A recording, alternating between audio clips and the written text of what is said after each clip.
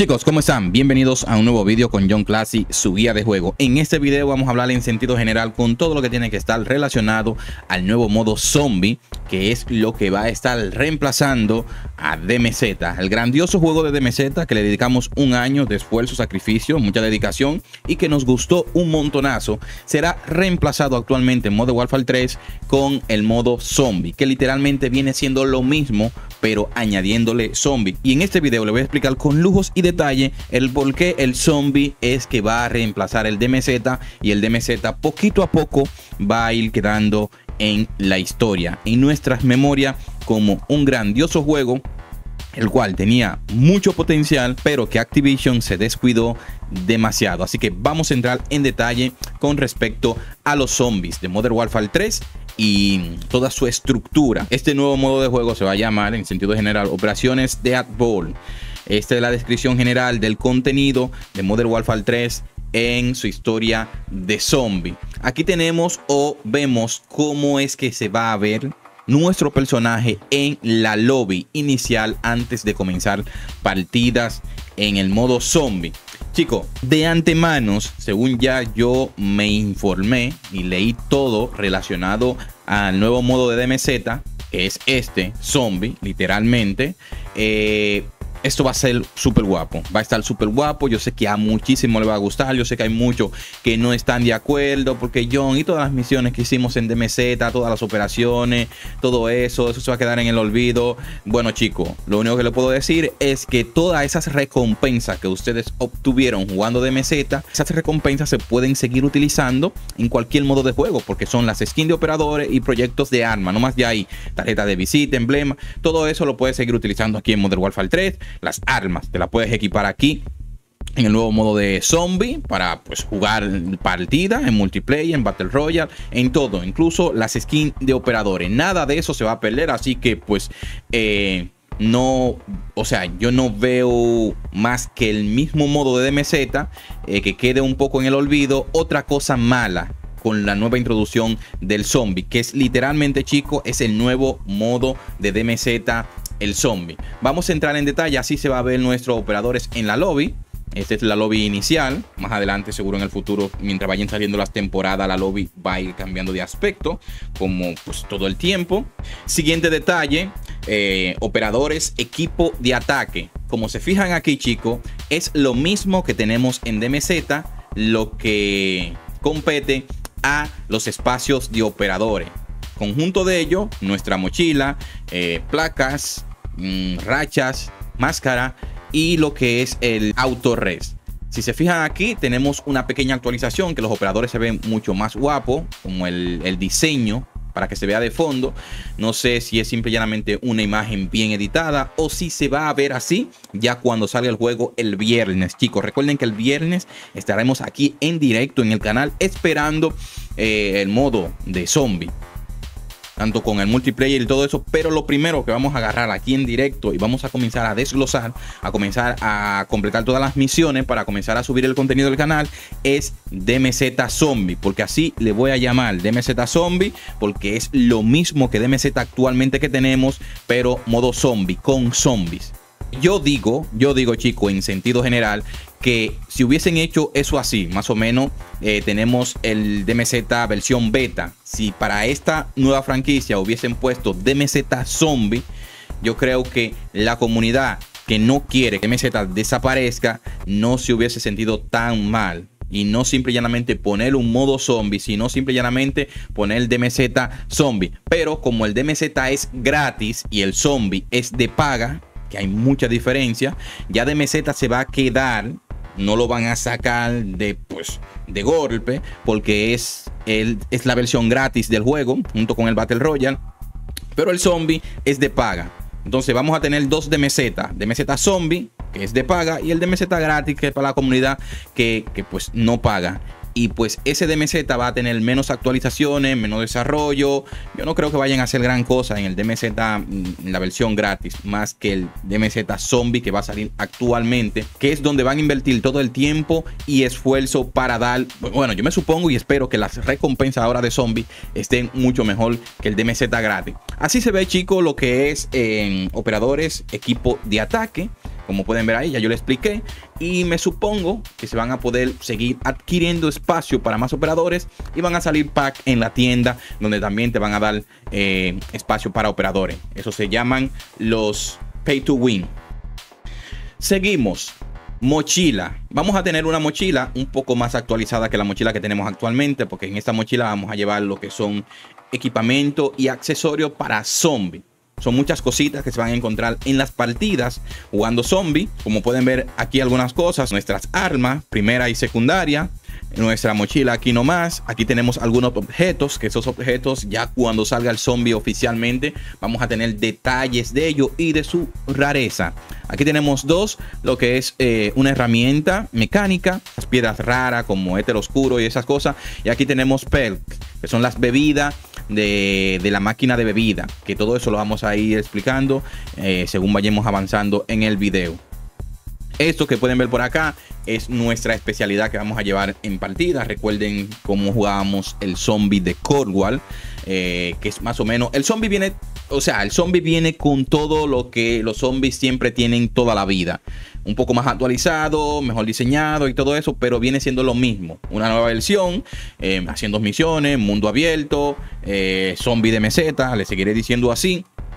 Eh, más actualizado. Vamos a ver cómo el público va a coger esto, pero yo ya con la información que obtuve y leí, a mí creo que me va a gustar bastante y van a haber misiones que vamos a obtener muchas recompensas. Esperemos que esa recompensa valga la pena. Por lo menos, por lo menos porque el zombie es de paga, esperemos que valga la pena cada recompensa después de haber completado dichas misiones. Siguiente, equipamiento. Esto, como se fijan aquí, son armas que es lo mismo que de meseta, armas que vamos a encontrar en partida, que son armas que vamos a poder extraer y son armas que si la perdemos en partida se pierden literalmente. Vamos a tener esto acá arriba que son tres espacios para armas personalizadas como tenemos en DMZ. Esto de inicio vamos a tener solamente un solo espacio.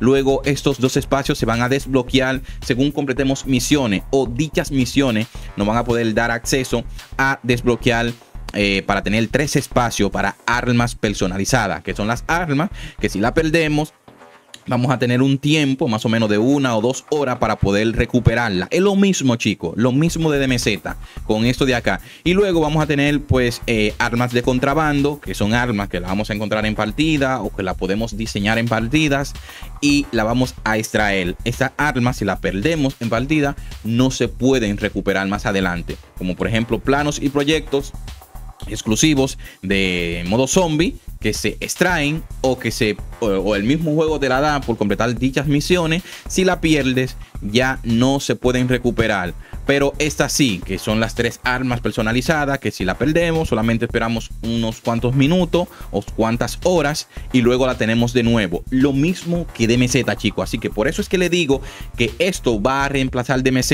No lo va a reemplazar en sentido general porque DMZ es gratis y el zombie es de paga. Zombie no es gratis para los que están pensando que zombie va a ser gratis. El zombie nunca ha sido gratis ni nunca va a ser gratis. Seguimos. Mejoras campo. Estas son las mejoras de campo de zombies que conocemos de toda la vida. Lo único que con pequeñas actualizaciones, un diseño diferente, se ve súper guapo. Estas son las mejoras que elegimos antes de entrar a partida para que nuestro operador tenga como una especialidad o un efecto especial.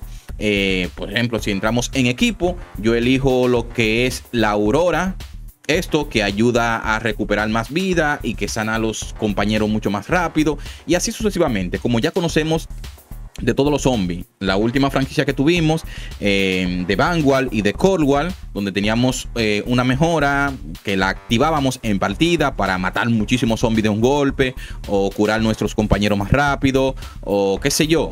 Aquí están las seis mejoras de campo que la primera se llama mina de energía, la segunda se llama guardia frenético o guardián frenético, aurora curativa, que es esta verde que está acá, explosión de escarcha, que es esta que está acá, que congela pues a todos los zombies, eh, sudario de éter, que es esta que está acá, y la última tormenta de Tesla, que es cada una tiene su efecto especial, ya en partida vamos a ir probando cada una de ellas o cuando salga el zombie y vamos a ver cuál es la más efectiva para jugar el nuevo modo zombie de meseta que le seguiré llamando así. Las famosas bebidas chicos. Esto no se puede quedar jamás en los zombies. Eso tiene que estar. Aquí podemos ver algunos de los diseños de zombies que van a estar presentes en, pues, en las misiones. Los zombies van a tener su aparición igual que en DMZ. Recuerden que en DMZ jugando habían zonas de dificultad baja, dificultad media y dificultad alta. Lo mismo va a ser aquí en zombie. Van a haber zonas de dificultad baja, donde van a haber zombies sencillos, que se pueden matar muy fácil. Van a haber zonas de dificultad media, zombies que van a ser un poco tryhard y zombies que van a ser super tryhard, que de una manera u otra va a tener que ser eliminados jugando en equipo bien. Eh, de la bebida vamos a hablar más adelante.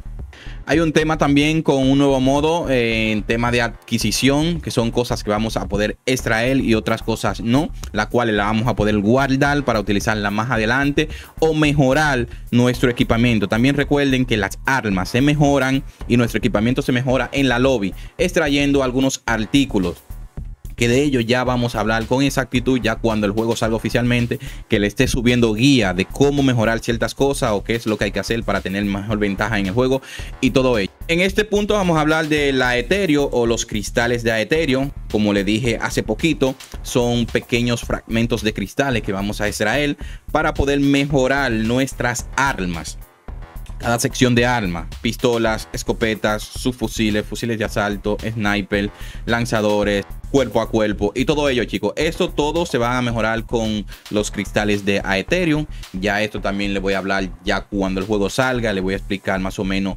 cómo es que se mejoran, qué es lo que hay que hacer y todo esto. Recuerden que en la última vez que tuvimos este tipo de mejora era en Cornwall. Que los zombies de Cornwall me encantaban chicos muchísimo.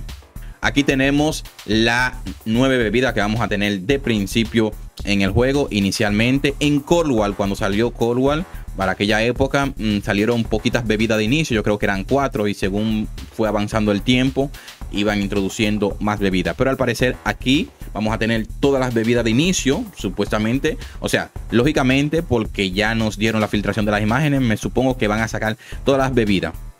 La primera bebida que todos conocemos, la Daikiri, eh, percepción de muerte, que es esta que está acá, que tenemos como una visión súper extra fuera de lo normal para ver a través de la pared los zombies y esas cosas. Tenemos Pot Elemental, que pues hace mucho más daño. Tenemos el Juggernaut. Tenemos esta que es el Doctor en Filosofía. Rápido de Revivir, que es esta que está acá. Cola rápida, que es para pues recargar mucho más rápido. Esta es para moverse mucho más rápido, que es Resistencia.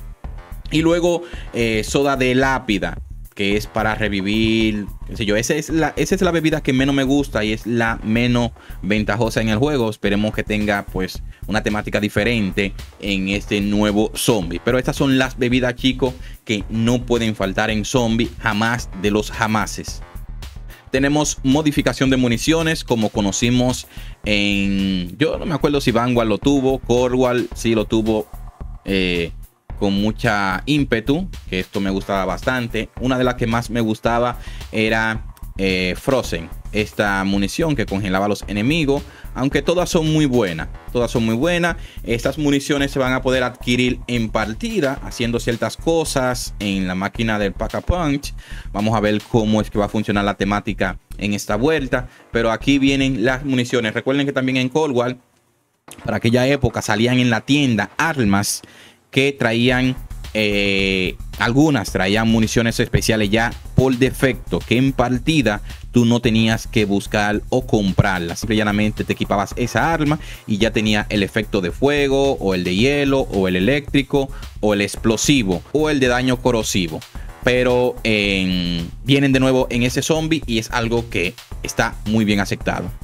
Lo que también no se puede quedar que son las armas maravillosas el arma de rayo Raigun, esta que está acá, que es la más épica y legendaria, la más antigua del juego. La Raigun está aquí. Por acá tenemos, se ven como piezas, pero no sé si es que van a ser seis armas maravillosas o que son dos o tres o cuatro, pero sé que por ejemplo esta sale en la caja misteriosa, como siempre va a seguir saliendo en la caja misteriosa. Lo que no tengo bien claro es que si se va a poder extraer, que si se va a poder extraer va a ser un, palo en el juego, pero en definitiva, aquí tenemos, no sé si que son piezas de otra arma, pero en sentido general, si son más de tres o cuatro armas, algunas de ellas serán o se van a poder construir haciendo pequeños easter en partida. Otras van a salir en la caja misteriosa, como es la Raigun, esta que está acá. Sale en la caja misteriosa. Me supongo que una de estas se va a poder fabricar haciendo pequeños easter. Si es así, yo le voy a subir el video al canal explicándole con luz y detalle cómo va a ser o cómo va a funcionar. O si es que hay que hacer una pequeña misión dentro de partida para poder conseguirla. O matando a, algún zombie jefe. Si es así, no se preocupen chicos que yo les voy a estar dando detalles de todo ello. Pero esta vamos a tener las armas maravillosas en el nuevo zombie. Luego, como le dije anteriormente, esto es igual que de meseta. Vamos a hacer misiones, vamos a completar desafíos, donde al final vamos a tener recompensa. Vamos a adquirir recompensas como XP, proyectos de armas, eh, skin, un montonazo de cosas, chicos. Según vaya avanzando el tiempo en el modo zombie, me supongo que van a ir incluyendo mejores recompensas y todo ello. Pero es completando misiones. Así que de estas misiones le vamos a hablar más adelante ya cuando salga el zombie oficialmente. Miren, una de las armas maravillosas, miren acá donde está. Como también tenemos en DMZ la estación de compra eh, o la tienda. En esta tienda vamos a poder comprar algunas cosas que necesitamos en partida, como máscara de gas, armas personalizadas y un montonazo de cosas, chicos, que ya más a detalle vamos a hablar de ello ya cuando salga el modo zombie. Pero la tienda no se queda. Eh, lo que anteriormente no teníamos en zombie, ahora sí lo vamos a tener, porque ya esto es más un mundo abierto, completando misiones donde hay zombie. Esto no es un modo zombie oficial. Esto es un DMZ con zombies incluido, con todo lo que tiene que ver con zombie. Yo veo la combinación bastante bien. Para mí lo veo muy bien. Esperemos que la experiencia sea muy buena y que no sea algo que eh, defraude o decepcione a la comunidad. Las máquinas de bebida estarán distribuidas por todo el mapa de Uzbekistán. Recuerden que toda esa actividad de zombies se va a llevar en el mapa de Uzbekistán, eh, un mapa específico para zombies. Y las máquinas de bebida, yo también le voy a subir un video más adelante, dándole la ubicación exacta de cada una de las máquinas, porque como es un mapa de mundo abierto, vamos a tener acceso al mapa dándole las ubicaciones para que usted así pueda encontrar siempre sus máquinas de bebida y pueda comprar siempre y estar activo. No sé si esto va a funcionar en que cada partida eh, las máquinas se van a mover de ubicaciones. Si es así, yo lo veo bastante bien. Eh, que las máquinas estén siempre en lugares estáticos es un poco, qué sé yo, como que le quita diversión. Si las máquinas se mueven, en cada partida se mueven en diferentes ubicaciones, le da como más, como más dinamismo al juego y hace que los jugadores no se centren siempre en lo mismo, en encontrarlo muy fácil, sino que le dé un poquito más de, dificultad a la hora de, comprar su bebida. Esta es la máquina del Pack a Punch.